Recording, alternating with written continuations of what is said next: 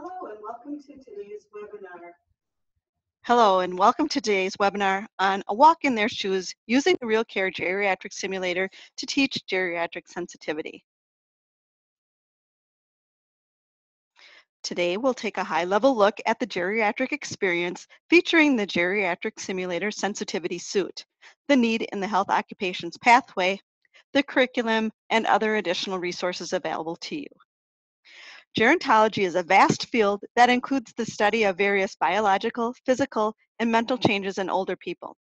Geriatrics is mainly concerned with healthcare and providing medical assistance to the aging population, and as such is also considered a subfield of gerontology. Due to the rapidly increasing number of elderly people in the United States and around the world, numerous opportunities are arising for professionals in geriatrics and gerontology. According to the Bureau of Labor Statistics, the number of elderly people in the United States will be at its highest over the next decade and will continue to grow. This will ensure a sustained growth in careers in geriatrics and gerontology, which are expected to increase by 20% through the year 2020. Now, again, according to the Bureau of Labor Statistics, many of the occupations projected to have the largest job growth involve geriatric patients. Occupations such as personal care aides, RNs, home health aides, nursing assistants, and so forth have enormous potential. So if you look closer at this list of the top 10 skills you need for working in a nursing home, most of them involve direct patient care. We believe that better care will be provided when workers are sensitive to what the patients are going through. Compassion and understanding are key to providing care for geriatric patients. If you walk in the shoes of an older adult, you're much likelier to provide more appropriate care because you'll understand the challenges that daily tasks can be. Now, according to a recent study at Julius Maximilian University of Würzburg on the effectiveness of age simulation, you'll see that 83% of participants were able, able to empathize with um, life in old age very well after participating in an age simulation similar to our geriatric suit. And nearly all of them at 95% of the participants had a better understanding of physical conditions of aging after participating in a simulation event. With that, we'll take a closer look at the Real Care Geriatric Simulator Sensitivity Suit and the complete curriculum to help participants understand the common physical effects of aging. Now, the parts of this program include one geriatric weight vest, a cervical collar, four wrist weights, two elbow restraints, two ankle weights, two knee restraints, a set of gloves, one storage case, a smaller case for a set of six visual impairment glasses, and a walker. There's also online access to the Geriatric Experience curriculum. And of course, it all comes with a one-year limited warranty. Now, the geriatric simulator enables participants who put it on to experience many common physical conditions of aging. Some of these will include visual impairment. Now, you'll have six different visual conditions to choose from in the simulation, ranging from glaucoma to macular degeneration. You'll have restricted range of motion. As you put on the various restraints, you'll find that that will happen. The decreased mobility will happen as you put the weights on your ankles and your wrists. Stooped posture, will happen as you put on the weight vest and it weighs you down. You'll feel a loss of sensation in your hands as you put on the gloves and you lose that tactile sensation. The joint stiffness, again, will happen through, through the restraints. You'll have a loss of strength and a general fatigue as you wear it longer due to the weight vest and the weights. And of course, you'll have that change in body image and definitely a decreased sense of balance. And what um, will enhance that as all of the different visual impairment glasses. When you have that on, in addition to all of the pieces of the suit, you'll even get a sense of uh, confusion as well. So the geriatric simulator we feel is very easy to put on, and in the um, in the package, you'll get a quick start guide as you see on the screen here, and it will show you the 10 steps to putting it on. So basically you put on the weights, the vest, the restrictors, um, all in the recommended order that you'll see in the quick start guide. You'll choose your glasses, you'll adjust the walker and off you go. So right now, I'm going to um, go to video mode and we're going to show um, Andre who suited up with the suit so you can see all of the pieces um, in action today. So here we are. And you'll see that Andre is wearing our geriatric simulation sensitivity suit. He's got all of the different parts and pieces on from the visual stimulation glasses to some of the restraints both at the neck, the elbow, and the knee. He's wearing that weight vest that's a one size fits all. And Andre, if you'll turn around, you'll see that, that it, how it looks in the back. And again, if you'll turn around to the front, it, it um, encloses by uh, adjustable Velcro. So it's one size fits most. And again, you've got the, the um, wrist weights and it comes with um, two for each hand. So that makes it more adjustable for various sizes of individuals. If you've got um, a smaller, uh, thinner, um, maybe young young ladies trying it on, you might just choose to use one of the wrist weights, or for the gentleman, you might wish to use two as Andre has on. He's also got his ankle weights on below, and then he's got his his gloves on, which he'll also use in some of the activities um, to do things like um, open a pill bottle, or do some um, things like a zipper, buttons, getting dressed, putting on a jacket. Those daily tasks that can be uh, so challenging when you've got the different physical conditions. So this is basically how it looks once you follow the 10 steps to putting it on. And again, you've got the walker in the background that comes with it and you can it's adjustable by height. So once you're all suited up and you've got the walker, then you can just participate in the lessons found in the curriculum. Thanks, Andre. And now we'll go to a video clip where you can actually um, see it a little bit in action. If you go on our, on our website, on the product page for the geriatric suit, you will see a three minute video that you can go on and watch more of it. So I've got um, a clip that we're just gonna watch a few seconds and you can see that um, Andre's fully suited up here and he's using the walker and he's showing the challenge that it presents to just simply go up a few stairs and open a door and how that manifests itself. You can see that it adds a layer of complexity as you have to figure out how you're going to go up the steps with that walker and also with that restricted range of motion the mobility is also restricted. And of course, your eyesight doesn't quite work the same either. So that's just a very short clip, but you can watch the thing in its entirety on our website at realityworks.com. So now let's talk about um, how the geriatric simulator can be used. And it can be used in many different settings. Um, in the high school, you can use it in health occupations courses because it can provide hands-on experiential learning to make the lesson memorable. Post-secondary courses in health uh, care, such as nursing, could also find it helpful. CNA training courses taught in high schools, community college, or any on-site in nursing homes could also use this as a learning tool. Um, in-service training in nursing homes and assisted living facilities would find this a great option. We know that some states mandate so many hours per year of continuing um, education um, hours for um, nursing home and assisted living facility staff, and this would be a great standalone program that could be used for training over and over. Um, public health organizations and community education groups could also use this as a way to engage the community or general public to learn more about those important geriatric issues. The curriculum that comes with the geriatric simulator includes nine lessons, a total of nine to 13 hours of teaching time if you taught everything. Some of the lesson topics include a geriatrics and gerontology career exploration, a visual impairment lesson, declining mobility due to aging, the impact of aging on bones and joints, hearing loss, cognitive changes with aging, the geriatric experience, and then amazing aging. So these lessons actively integrate the use of the geriatric simulator into the lessons. And the curriculum is aligned to the National FACS Education Standards, Common Core State Standards, Common Career Technical Core, and the National Health Education Standards. So let's take a look at a few best practices. Number one, the group experience. We believe that when a group of students experience the exercise together, it enriches the conversation with being more people being able to compare how each is feeling. Many of the lessons include a series of tasks to perform with various parts of the simulator on, including an entirely immersive experience in lesson seven. Some of the tasks will include tying your shoes, using a cell phone, reading a newspaper, opening a door, putting on a jacket, combing your hair, putting on a belt. And we recommend, if possible, to have groups of students wear it at the same time. Um, again, those groups enrich the experience, making the discussion so much deeper as students experience the effects at the same time. Another best practice is 20 to 60 minutes.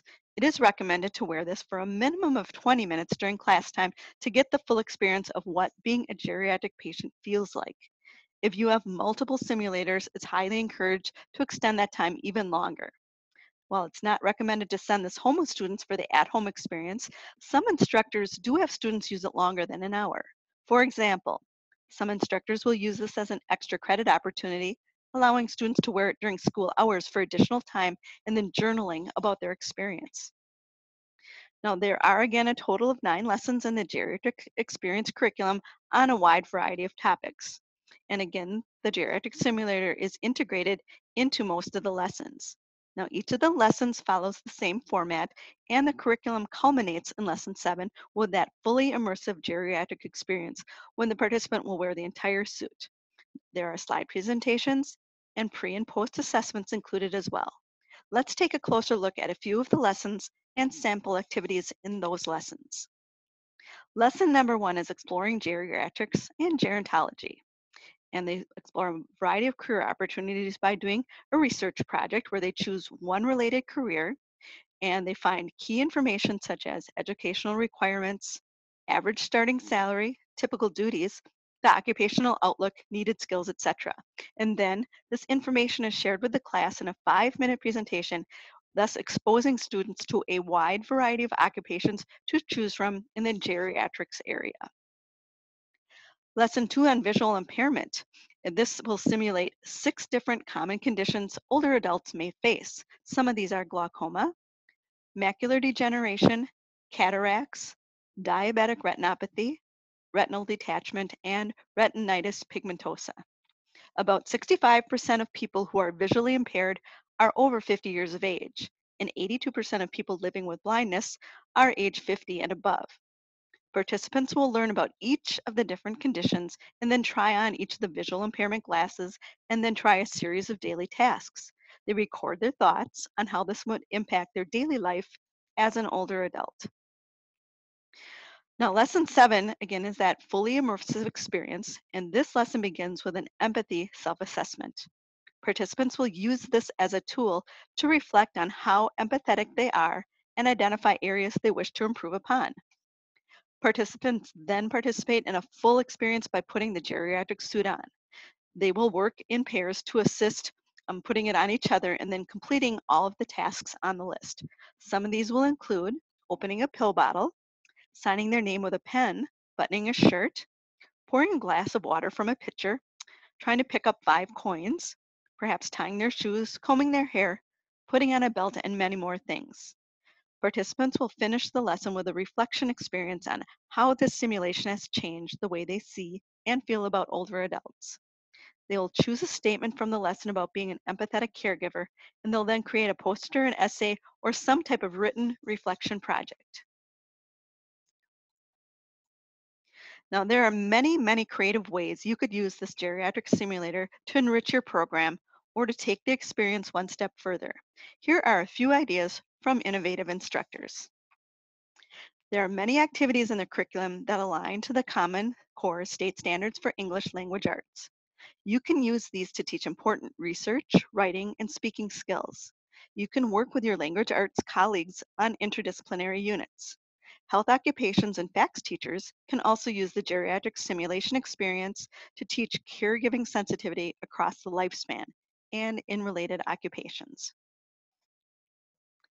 We have heard that several instructors um, have gone on field trips taken to local nursing homes and assisted living facilities for a close-up look and experience with geriatric care. Students wear the geriatric simulator prior to the field trip to gain that sensitivity and empathy prior to the field trip. Students can ask the patients about their life experiences as well as the caregivers to see what a day in the life of an older person and a caregiver is like. Journaling is an excellent way for students to reflect on any experience. One instructor gives the students the geriatric simulator to wear off and on for several days and has them journal during each day of the experience to document what they are thinking and feeling.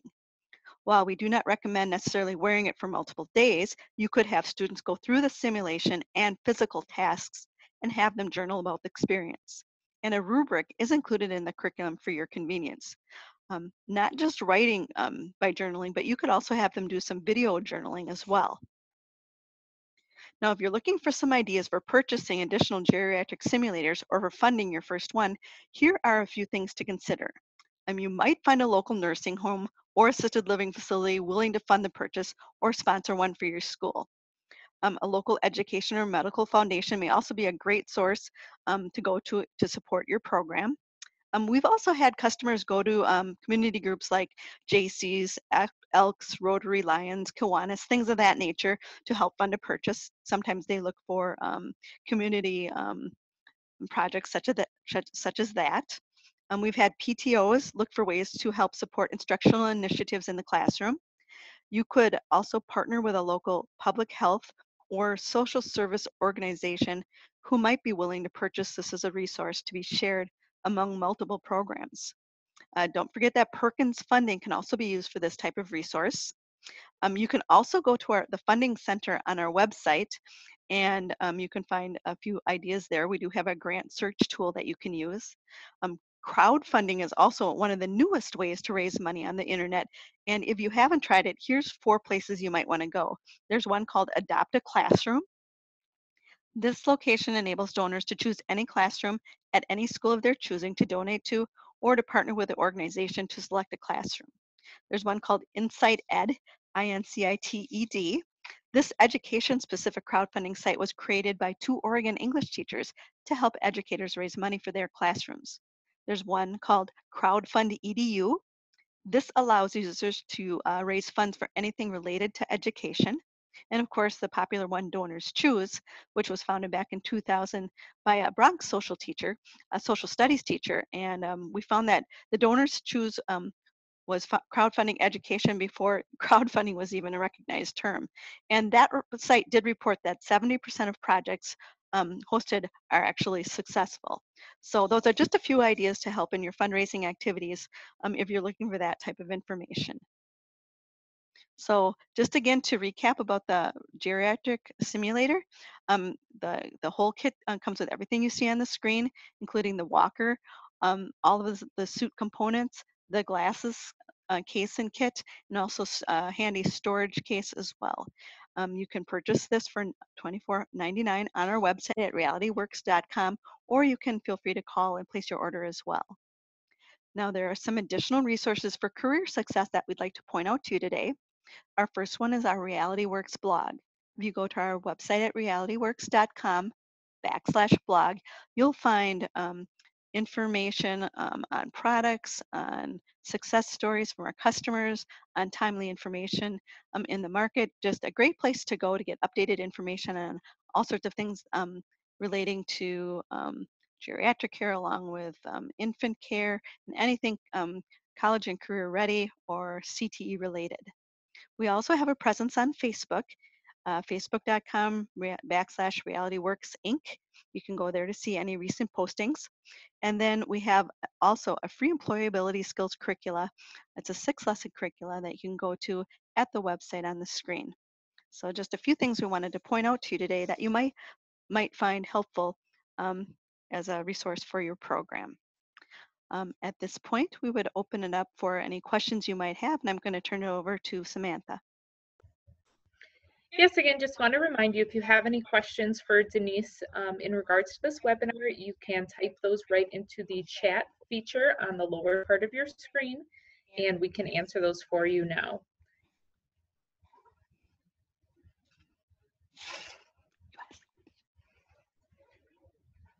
Additionally, if um, you have questions that come up after this webinar, feel free to visit our website at realityworks.com and look for information and you can email questions in or else you can email information at realityworks.com as well. Uh, thank you, Samantha. And I see that at this point, we have no questions from the audience today. So with that, we will wrap up today's webinar. Um, please be aware that this has been recorded and this um, webinar in its entirety will be posted on our, the product support part of our website for your viewing um, at any time that's convenient for you. Thank you for participating today. We hope you found it very helpful.